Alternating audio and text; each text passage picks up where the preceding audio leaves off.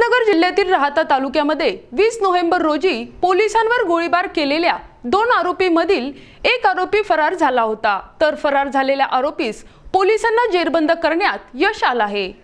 राहता शहरात वीस नोव्हेंबर रोजी पोलिसांवर गोळीबार करणाऱ्या सराईत फरार आरोपीला स्थानिक गुन्हे शाखेच्या पथकाने रविवारी तळेगाव ढमढेरे जिल्हा पुणे येथून अटक करण्यात आली. अमित उर्फ सुरेंद्र विजय सांगळे वय वर्ष पस्तीस राहता टाकळीमिया तालुका राऊरी असं अटक केलेल्या आरोपीचं नाव असून तो सेवानिवृत्त पोलीस कर्मचाऱ्यांचा मुलगा आहे. तर राहता येथे वीस नोव्हेंबर रोजी पोलीस कॉन्स्टेबल रशीद शेख व अजित पटारे हे मोटरसायकलवरून शहरातून जात असताना त्यांना सराईत गुन्हेगार सचिन लक्ष्मण ताके अमित सांगळे हे चेहऱ्याला रुमाल बांधून संशयितरित्या फिरताना आढळून आले. पोलिसांनी त्यांना अडविण्याचा प्रयत्न देखील केला. तेव्हा ताके यांनी गावठी कट्ट्यातून दोघा पोलिसांवर गोळीबार केला. यात पटारे यांना दोन गोळ्या लागून ते गंभीर जखमी झाले. तर त्यावेळी घटनास्थळी ताके याला पकडण्यात आलं. तर सांगळे हा पसार झाला असून सांगळे हा तळेगाव ढमडेरे या परिसरात लपून बसल्याची माहिती स्थानिक गुन्हे शाखेचे दिलीप पवार यांना मिळाली होती. माहितीनुसार सहाय्यक निरीक्षक Shishir Kumar Deshmukh head constable Sunil Chavan Manohar Gosavi Ravindra Kardile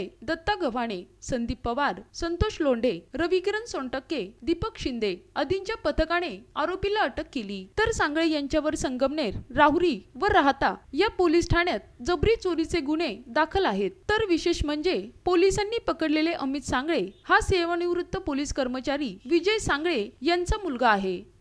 Bureau report news today twenty four Ahmednagar. राज्यातल्या आणि देशातल्या ताज्या घडामोडींसाठी आजच आमच्या यूट्यूब चॅनलला सबस्क्राईब करा आणि बेल आयकॉनला क्लिक करा आणि बघत रहा ताज्या घडामोडी.